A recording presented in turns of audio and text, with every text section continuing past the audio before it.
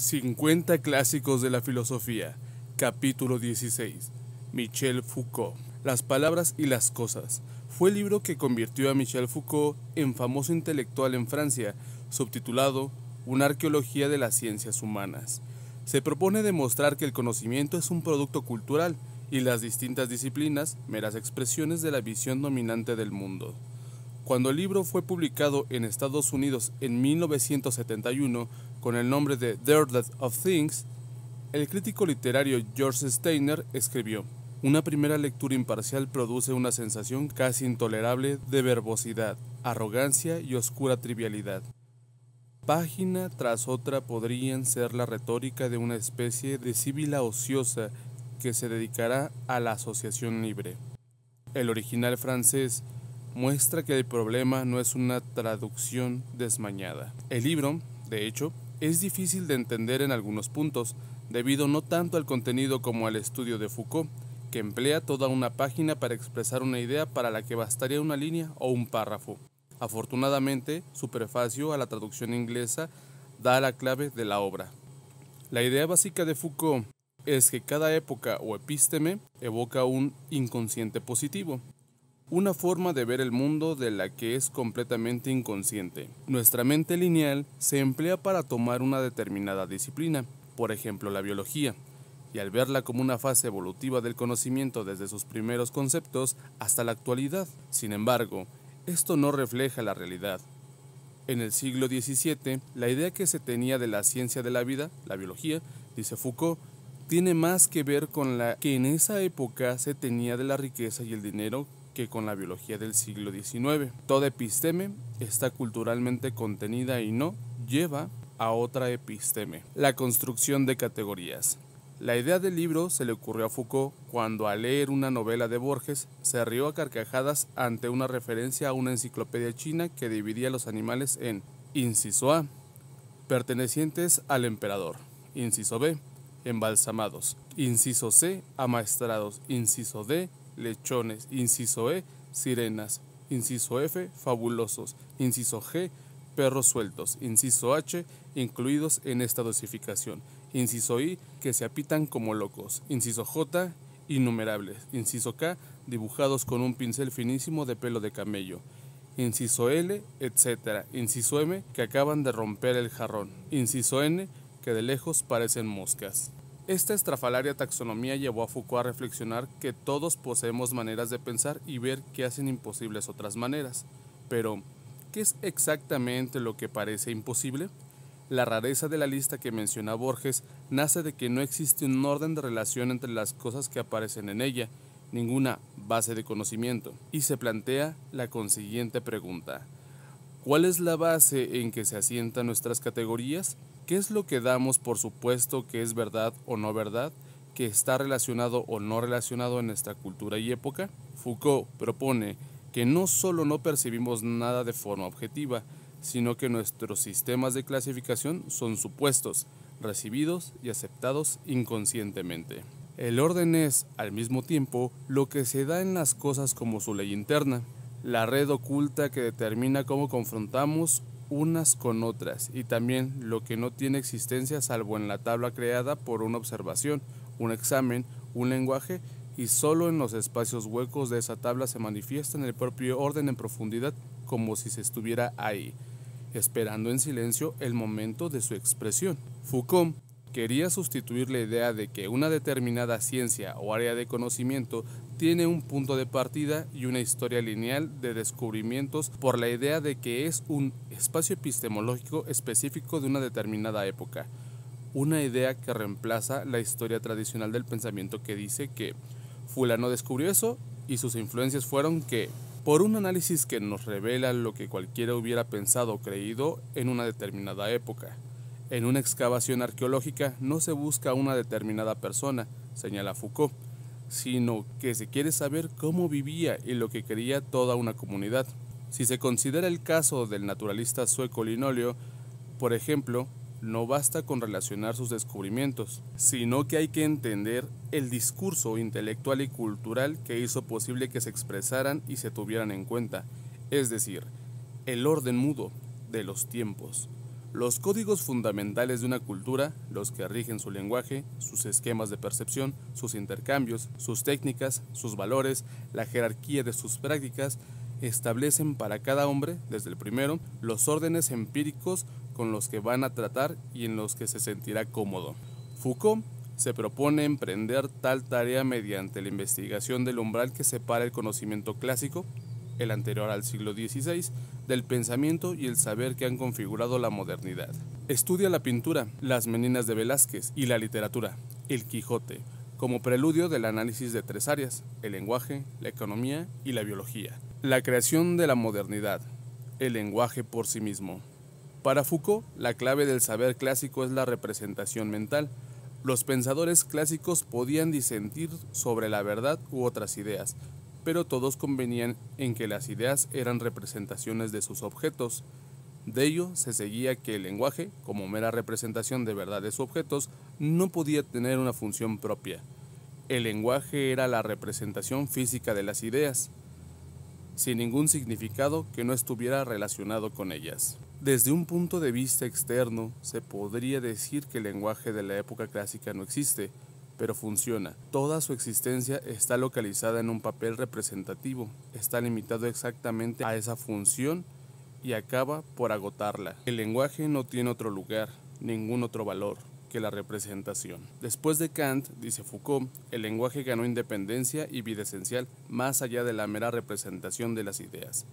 La gramática general ya no era suficiente, en su lugar se desarrolló la filología o el estudio de la historia de las lenguas naturales y su objetivo en los propios textos, y la filosofía analítica, que intentaba eliminar las confusiones y distorsiones del lenguaje. Estos dos enfoques complementarios del pensamiento moderno acentuaron la división de la filosofía analítica y la continental. Libre de la representación directa de las ideas, el lenguaje se podía abordar como una realidad autónoma, sin ningún sistema de semejanzas que lo atara al mundo. Se abrió una brecha entre el contenido y la forma, y se pasó de una fase de comentarios a otra de crítica. El lenguaje se convirtió en una verdad en sí mismo. Esta nueva episteme también hizo posible el reino de la literatura pura, que Mallarmé evoca cuando a la pregunta de Nietzsche, ¿quién habla? responde, el propio lenguaje. La literatura no es semejanza ni representación, sino que se convierte en una fuerza por sí misma. Al hablar del Quijote, Foucault señala, en él el lenguaje rompe con su viejo parentesco con las cosas y entra en esa solitaria soberanía de la que reaparecerá en estado independiente, solo como literatura, porque marca el punto en que la semejanza entra en una edad que, en lo que a ella se refiere, es una edad de locura e imaginación. Quien vaya a escribir cualquier tipo de historias que implique opiniones, creencias, prejuicios y supersticiones, apunta, lo que escriba sobre estos temas siempre tiene menos valor como prueba de las propias palabras. Para averiguar lo que las personas realmente pensaban en una determinada época, lo que nos da una pista no es el contenido de lo que dijeron, sino cómo lo dijeron y quedaban por supuesto. Pensamos que las ciencias poseen una realidad objetiva, pero Foucault indica que no son más que lenguajes bien formados. La creación de la modernidad. El nacimiento del hombre. En el desarrollo de la forma de pensar moderna, más importante incluso que el lenguaje es la propia figura del hombre como concepto epistemológico. En la época clásica el hombre no existía ni antes, dice Foucault. La razón no es que no existiera la idea de que los seres humanos como especie ni de la naturaleza humana como idea psicológica, moral o política. Lo que ocurría era que no existía una conciencia epistemológica del hombre como tal. Sin embargo, la modernidad nos llevó de la taxonomía horizontal de las cosas a la clasificación conceptual vertical, la abstracción. Con ello llegó el hombre como concepto, del mismo modo que la ciencia de la vida en esencia una taxonomía de los seres vivos, dio paso a la ciencia más abstracta y conceptual de la biología. Pero Foucault sostiene que el hombre es una invención de fecha reciente, una invención que tal vez se aproxima a su fin. Con ello se refiere a que si nuestra actual visión del mundo se desplomara, la imagen exaltada que hoy tenemos de nosotros mismos con el tiempo también se vería gravemente limitada. Comentarios finales.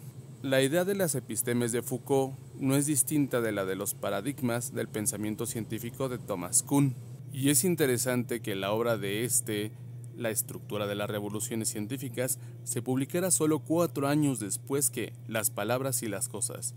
Prueba, tal vez, de que el conocimiento llega en forma de particulares visiones del mundo de las que el individuo apenas es consciente. Ambos libros son un antídoto contra el engreimiento del conocimiento actual y la creencia en un modelo lineal de acumulación del saber.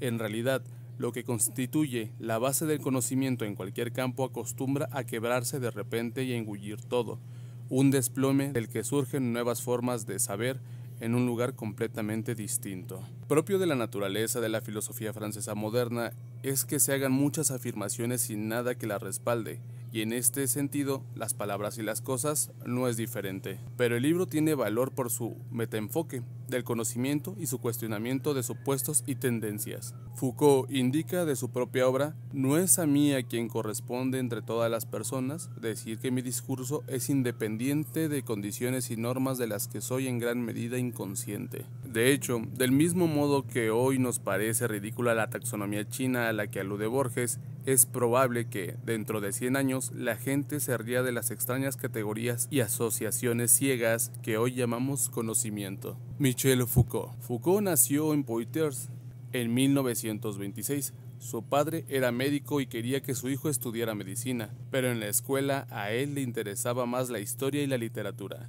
Dejó Poitiers en 1945 para estudiar en la Lys Henry IV de París y un año después fue admitido en la École Normale Supérieure. En esa época hizo amistad con Louis Althusser, filósofo marxista. Al final, Foucault se licenció en filosofía, sociología y psiquiatría. En 1950 pasó a ser profesor asociado de la Universidad de Dille. Al cabo de un tiempo abandonó Francia para impartir docencia en la Universidad de Uppsala en Suecia y después fue director del Instituto Francés de la Universidad de Varsovia y el de la Universidad de Hamburgo. Empezó a interesarse por la historia, en especial por los cambios de ideas sobre la práctica psiquiátrica, un interés que se tradujo en la bien acogida obra Historia de la locura en la época clásica. En 1906 publicó El nacimiento de la clínica. Cuando su compañero Daniel Defert fue enviado a Túnez a cumplir el servicio militar en 1965, Foucault consiguió un puesto en la Universidad de Túnez. En 1966 se publicó con gran éxito Las palabras y las cosas. Foucault fue aclamado como uno de los grandes pensadores de su tiempo, junto con Jacques Lacan, Claude Lévi-Strauss y Roland Barthes. Después publicó La arqueología del saber, aceptó el cargo de director de filosofía en la Universidad de Clermont-Ferrand. En 1970 fue elegido catedrático de Historia de los Sistemas de Pensamiento en el Collège de France. Su creciente implicación política e interés por la acción social se reflejaron en Vigilar y Castigo, publicado en 1975, donde analiza las tecnologías de la organización y el control. En 1976 se publicó el primer volumen de Historia de la Sexualidad, la reputación de Foucault aumentó en los 70 y los 80, años en que dio conferencias por todo el mundo y pasó por más tiempo en instituciones estadounidenses. También hizo dos viajes a Irán, sobre cuya revolución escribió ensayos para un periódico italiano. Falleció en París en 1984. 2005. On Bullshit, la manipulación de la verdad. Una de las características más destacadas de nuestra cultura es la existencia de tanto lenguaje estúpido, engañoso y jactancioso. Todo el mundo lo sabe, todos contribuimos a él, pero es una situación que solemos dar por supuesta. La mayoría de las personas están seguras de su capacidad de conocer esas paparruchas y evitar que las engatusen. Por esto el fenómeno no ha generado mucha preocupación deliberada, ni ha sido objeto de investigación continuada. En consecuencia, no tenemos una idea clara de qué son esas manipulaciones, de por qué existen tantas ni de qué cometido cumplen. En dos palabras, el lenguaje estúpido, engañoso y pretencioso impregna nuestra cultura y debemos saber en qué se diferencia de la mentira. En la misma línea, Noam Chomsky, Chomsky Esencial, Michel de Montaigne, Ensayos, Ludwig Wittgenstein investigaciones filosóficas. Y bueno amigos, hemos llegado a otro gran, gran, gran, gran, gran capítulo o cierre de capítulo, sobre todo uno de los ya clásicos, ahora sí, clásicos dentro de los clásicos, Michel Foucault. Ojalá les haya servido de algo. Mínimo de entretenimiento. Y pues ya amigos, eso es lo que tengo por hoy. No tengo nada realmente que aportar ni que decir. Solamente disfruten de las lecturas y nos andaremos topando en el siguiente audio. Cuídense mucho, tengan un buen día y si le pasan mal, lo siento de verdad. Ya pasará. Bye.